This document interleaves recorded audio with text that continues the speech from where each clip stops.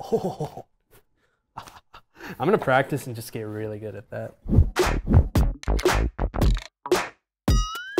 What's up dudes? Kai back on the big screen, back on the telly. We're gonna make Neapolitan pizzas. Neapolitan pizza is like the originator of pizza, comes from Naples. The round pizzas with the super puffy crust around the outside. So we will start with the dough. You need a scale, you need some active dry yeast, a bowl, in goes the water first. This is for two doughs, by the way. It's gonna be 210 grams of water. Whoop. For the active dry yeast, it's just gonna be a quarter teaspoon. Get my fangle in there, dude. Next, we're gonna use flour, 332 grams of this finesse it. We're gonna add the salt straight in, 10 grams, and then we're just gonna mix everything together. Once it kind of reaches this like shaggy, crumbly phase, I'm just gonna go in with our fangles, man. We're gonna let this ferment for 20, roughly 24 hours at like room temp. Just cover this super tightly with plastic wrap, otherwise it's gonna form like a crust on there. This is after 24 hours. We're gonna do roughly 250 grams. There's lots of different ways to form this. You kind of just wanna be quick with it because like the temperature of your hands will mess it up. So basically I'm just gonna like fold it in on itself and kind of degas it at the same time. And then you just wanna like pinch the seam shut on the bottom side. So top side and then the bottom side. We would just put it in a plastic container and then cold ferment it for up to two days. And then this is what it will end up looking like, kind of a blob like that. One of the most important parts of making pizza, before you use it, you wanna let it come up to room temperature, which can take up to like two hours. Set aside and we're gonna make like a really quick pizza sauce from Neapolitan style.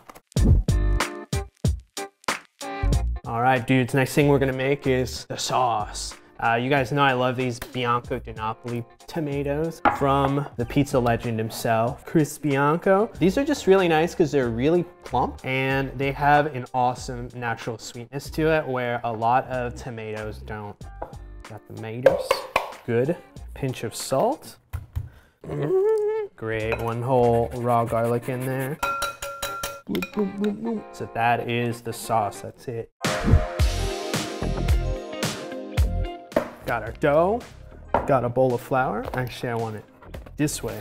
It's just super sticky right now. It is really good, but uh, you just wanna put it in a little bit of flour. Dumping it in the flour and whatever sticks to it naturally is just like a really good place to know. Bloop. There's a lot of gas buildup in here. We're just gonna push all the gas bubbles to like the outside. And really you're just establishing that like outer crust. And then from here is like where you can have fun with it. One of the easiest ways is you're just kind of like holding it with your knuckles and then kind of just like rotating the dough at like a 45 degree angle. You can just like stretch it out on the table too.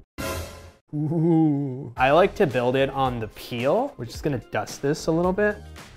So sauce, and you're kind of just using like the edge of the crust as your borders. We are gonna do a Neapolitan style pizza. This is called buffalo mozzarella. It's kind of just like the better version of fresh mozzarella, but fresh mozzarella is also awesome.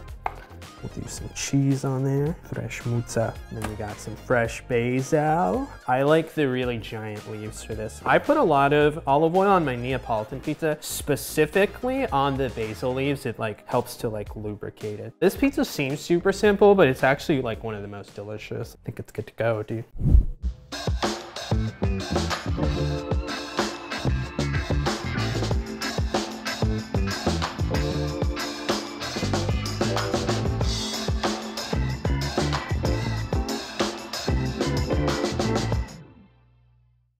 Got the Neapolitan pizza pie here, uh, super simple, and you can see the crust puffed up super nicely right here. Ooh. Mmm, this is nice, man. Simple and classic, dude. Oh, mmm, get that flour in there, baby. Whoop. Smush it down towards the edges with my fangles. You can do this too if you see like certain parts towards the edge are like thicker than others. Love. Feel the sauce on here. Spread it out. This right here is a mix of just like Parmesan, Asiago, and Fontina. Break up these fresh mozzarella chunks a little bit smaller. And then this is just hot Italian sausage, par cooked already, just so it's gonna get crispier. A little bit of basil, breaking up any like large pieces. Everyone's favorite ingredient, dude. Some jalapenos. So like sausage and pepper pizza, basically. Let's launch this bad boy. We'll be right back.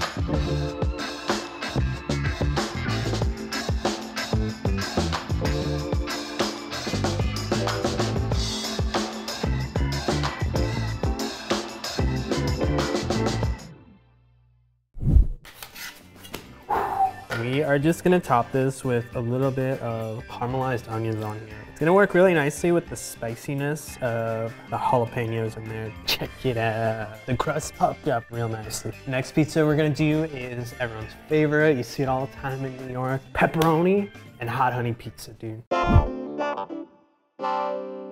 Honey is gonna be super simple, man. Need a little bit of honey for that. Crushed red chili flakes, man. You probably already have it in your fridge already. Depending on how spicy you want it, dude, just load it up there. I am a big fan of garlic honey. Microplane garlic's just super strong, so I wouldn't do, for this amount, I wouldn't do that. Mix this up a little, cover it up, and then let it sit. And this is after like two days. You can see like the moisture from the garlic has pulled out a little bit and made the honey a little bit more runny. Okay, same situation for this pizza. Sticky boy. Mm. I'm gonna flatten this whole thing out and I'm gonna show you like the difference between when we flatten it all out and these other pizzas. You'll notice like the difference in the crust. Oh. I'm gonna practice and just get really good at that. Hit it with that young sauce. You notice how much bigger this pizza is when you don't leave space for the crust. Cheese! Low moisture mozzarella and then provolone cheese in there as well. Another cheese I really like to use is this smoked Gouda. Adds a nice extra flavor to it. Secret ingredient, we got the wiener here. When it has a natural casing and it cooks, that's what causes like the little pizza curl up. Ooh, that's right. I'm gonna add one more thing to it, dude. Sliced red onion, dude. One of my favorite ingredients on pizza. This pizza's ready for a launching, baby. Ooh.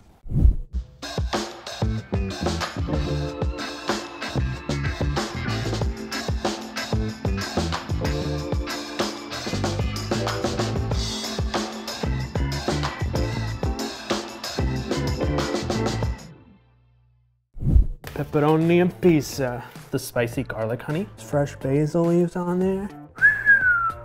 Hot damn, dude. All three of these, same dough, same sauce, but like I was saying, as far as the toppings go, you can just be like super creative with it. Oh, should know, you can also make this in the oven too, man. You don't need a pizza oven to make great pizza. So yes, please make pizza at home, dude. I did already have a slice of this, but I think I'm just gonna go for this pepperoni one right here. We got a slice of Neapolitan on there. Just fold this boy up. This is how they do it in Italia. Mm. That's decent, man. Mm, that's a pretty good one. Traditional Neapolitan pizza, man. It's often crunchy, as uh, Vito would say. Try making pizza at home. It's a lot easier to make high quality pizza than you probably think it is. Thanks for watching. Mm.